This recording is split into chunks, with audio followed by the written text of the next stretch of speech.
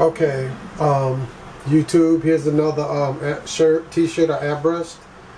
Um, I done one earlier for a customer son, um, but that same customer came back and he wanted a shirt of his very own, like his son. So this like the second um, t-shirt that I airbrushed with the same football um, character on it.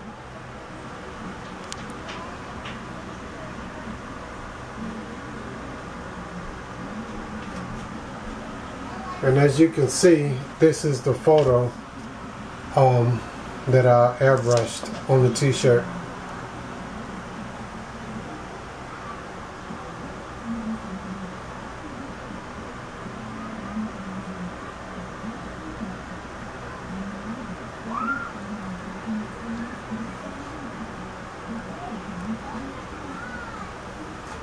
Okay, now um, I have the back of the t-shirt to do. Um, and as soon as I get done doing that, then I have another video um, with the letterings on the back because um, that's what the customer wanted, letters on the back. And after I put the letters on the back, I have that on my second video.